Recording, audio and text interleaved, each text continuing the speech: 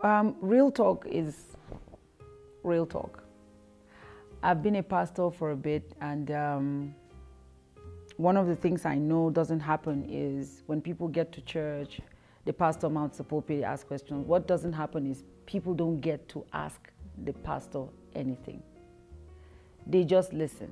They understand, they don't understand, they get up, they walk away. They have attended church. If they have questions to ask, if they have things they don't understand has happened in the service, something they heard the pastor say, they talk to each other. And they don't get to ask the person that God used to do the preaching to. And so a lot of people um, go home with their own perception of what they think the pastor is saying. And um, God laid this in my heart to be able to, um, I would say, deal with those kind of questions that people would want to be able to ask that they are not able to ask concerning all kinds of things in church, all kinds of things in society, all kinds of things in their lives. And it's, it's real talk because I want us to be able to be as honest as we can be with every subject. I want us to be able to look at it and see honesty is not built on my own perception. Honesty, the core essence of being honest, is going back to what the Bible says concerning any subject. You understand? So we're not going to say, oh, I'm going to be honest about it because this is how I feel. No. We're honest because this is what the word says. This is what the Bible says about it. So we are going to be dealing with so much gray areas, things that people don't want to talk about, things that the church doesn't is even afraid to touch with a nine feet pole. The issues of our sexualities. People come to church and um, pastors are afraid to preach about someone being gay. What does God say about it? Relationship matters, uh, depression, um, personality disorders people don't come and stand on the pulpit and say, my topic today is um, being a narcissist or as a, this is a personality disorder and I want us to discuss about it. That's not an everyday church um, topic that, you know, pastors will preach about. Um, misconceptions that people have about the way church runs. For instance, I'm a female and I'm a pastor and I'm the founder of the church.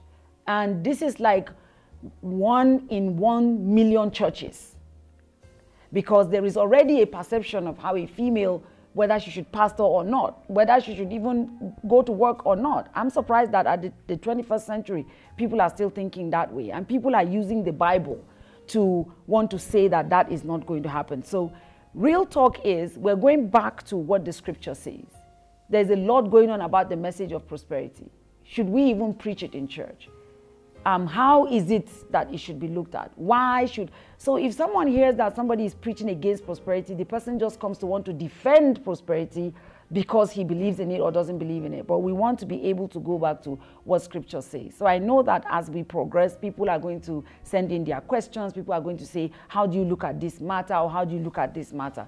But this is the chance that the audience have to ask questions about things that are concern God. And you're not asking a layperson, what I would say, I hate to use that term, but you know, for lack of any other way to explain it.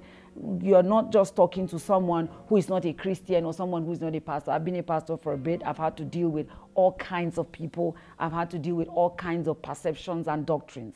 So, whatever subject we pick, it will be real talk. Right. So you, you said you've been a pastor for a, uh, a bit. Mm-hmm. Since we're talking real talk, how mm-hmm. bit is this bit? Ooh, I've been a pastor since 1993. since 1993, and church. That's how long you've been alive. That's how long you've been alive. Well, that's great. That's really great. But well, you see, um, so that tells you that I have a lot of experience.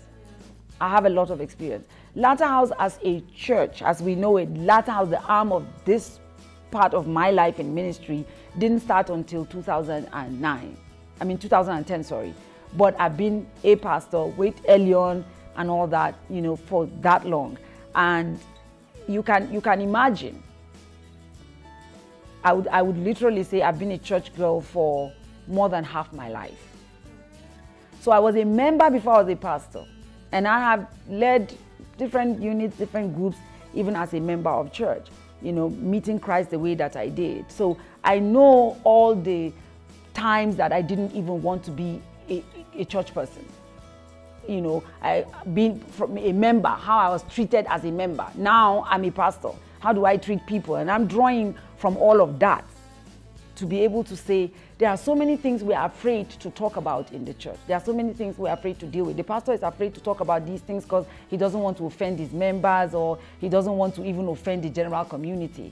But you know what? Being a female, living in northern Nigeria, pastoring a church in northern Nigeria, founding a church in northern Nigeria, to be honest with you, would, even if I, I cannot say I've seen it all, I've seen more than 90% of the left foot of fellowship because I'm not the right gender to pastor a church and I'm not the right look to pastor a church because there's a way I'm supposed to look to look to be a pastor. I'm not supposed to wear nails. I'm not supposed to do this. So I have one side of church saying, yay, the other bulkier side of church saying, you don't have a right to do that. So I've come through all that, really, value of the shadow of death.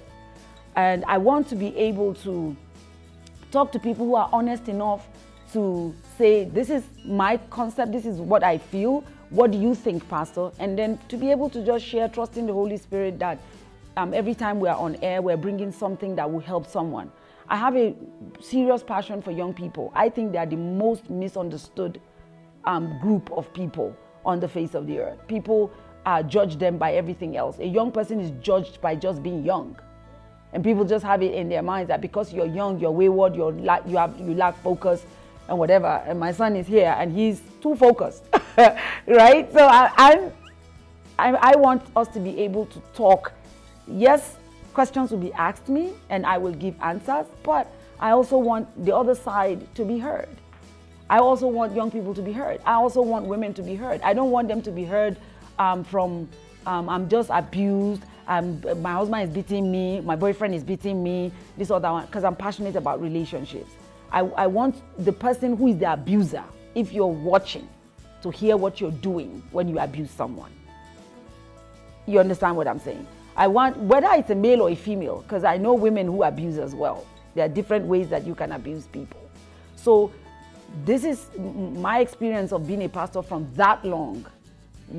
Tells you that I've dealt with all kinds of things and all That's right. So basically, like uh, Pastor Jemimah has said, you get to comment, you get to ask questions as you subscribe. Mm -hmm. So don't forget, ask any question you want, anything at all. Don't be ashamed. Mm -hmm. Don't be afraid. Mm -hmm. And um, Pastor Jemimah, as the days go by, will definitely pay attention to your question. It'll get to you. I know the, the questions will be a lot, mm -hmm. but just keep watching. We'll get to yours as time goes on, and then we will, of course, she will take care of it. Okay. Because we well, sometimes we will. Well, sometimes we yeah, will. we will. Great. So I'm like super excited about the question we're, we're dealing in this episode because um, generally you can't remove relationships from life you have to be with people, so you have to relate with them. Um, I'm, I'm more concerned about us that are unmarried and have to have relationships before we get married. How does it um, affect your potential living with um, a partner for the rest of your life, which is actually a very long time, but how does it actually affect your living with another person, how you're raised? Mm-hmm. your past experiences because we have like two sects of people, especially in the church. Mm-hmm. The people that will say, "Oh, I never did the whole relationship to relationship thing. I just my first boyfriend was the person. Yes, it's my husband, and we're together and we're happy." Then there's another sect of people mm-hmm. that have had relationships with virtually every brother and sister in church, mm-hmm. and then they eventually end up. So, at what point do you draw the line? How do you know should I be in this relationship for too long, or is it is it actually a problem for me to get out of this relationship? It doesn't work out for me and get another one, or should I just stay because I want my first boyfriend to be my husband, be my husband? Well, you know what, I I, I like it that if your your first boyfriend is your husband, well, praise the Lord. But you know what, life is so varied that it doesn't happen like that for everybody. And um, the stories that we have in the Bible individuals that we can pick out in the Bible. Um, sometimes you have the Bible is silent about some things, and sometimes the Bible is not silent about some things. Now, how many relationships you should have before you get married is one of those things that you cannot quote a scripture for. You can't say, well, the Bible said in so and so, have only one relationship. You can draw examples. Um, but then you also know that times have changed. Um, what happened with Isaac? He didn't even see the girl. She was married, you know, to him before she met him. Her dowry was paid before she met the dude. Now you imagine if she walks into that garden, you know, that, the way we, uh, the, the, Bible said it, he was in the field in the evening, and then when they came, and then said, she said, Who is this young man? Said, That's the one that she alighted from her horse or donkey or whatever she was climbing on, a camel, you know. Him, and then he took her to his mother's room, and that was it, marriage settled. Ain't gonna happen today. Not gonna happen. You understand what I'm saying? I mean, I don't I don't see myself going to one uh, village in Bauchi State where is where I'm from. I'm picking a wife for Josh. This one won't collect that one from my hand. so I just I, I don't see that happening here. So we have to be able to, even though the Bible is silent about it, draw certain examples to be able to say this will work and this will not work. You see, there's something called common sense, and then there's something called the Holy Spirit, or someone, not something, someone called the Holy Spirit and he lives on your inside. The Bible said he will guide you into all truth. So if you cannot even read it from here, he can be he being inside of you can guide you into all truth. Point is, if people do not even have a relationship with God, people don't know that having a relationship with God plays a major role in whether or not you succeed in your life. Now, I'm not saying people who play church. I'm not saying those who've learned the language, they're also in church. So, you know, because right now, you don't even know, there's no badge for being born again. Everybody comes to church. So in the church, the unbeliever is there. I mean, the devil is right there. Scripture said, when the sons of God were gathered, then the devil came. So it's what's happening right now. So you have unbelievers also coming to sit down. So there's a possibility that you start a relationship with someone. And when you start that relationship, you now discover that no, um, this guy in church is different from this guy when we're outside the church. And then so many church girls don't want to be labeled as the girl who has dated everybody. Yeah. So she's like, I just marry him? I don't want headache. Let me just marry this person. She she wants to cake, you know, put icing on the cake. She's looking for chocolate, but what she has is vanilla. So she now puts the icing. You know, icing doesn't let you know what's on the inside. She just puts the icing and then they gets married. But guess what? After you get married, you want to eat this cake, you go no. Whether it is vanilla or it is chocolate. So it's I always say a broken relationship is by far better than a broken marriage. And I use myself as an example. This is well one of the things that you know I'm known for. I, am known to use myself as an example. I, I am my best example, if if if if it's okay to say that. I am my best example. I was dating someone before I got married. I've been married 27 years. Yes, I'm a mother of four and a grandmother of three. And when I was dating this young man, I dated him because of the pressure that he put me under. I was a singer, I was always on the pulpit, you know, we the girls in the choir, now we everybody know, you know. At the end of the day, this one is coming to tell you God said, that one is coming to also tell you God said. You know, meanwhile, let me say it to all the guys that are watching, please drop that God said card when you want to marry a girl. Please drop it. Please drop it. Please drop it. Because you know what? The first man that came and said, You know, God, you are the one that, that gave me this one um, from that time, I think God said, now he that finds a wife. Okay? So don't come to a girl with a, you know, God said, because she's a prayer warrior in the church. If you, because what you are telling her, what you are telling her in the moment you say God said, you are, you are telling her that I don't really like you, if not for the fact that God said. That's how I will read it. That's how I will read it. So what if God didn't tell you that I'm your wife? You don't like me. Now because God talk. You understand what I'm saying? So by the way, that's just advice to the young men. You love the girl, just go and say, I love you. And I want to spend the rest of my life with you, or however it is they put the lyrics. But just say it that way.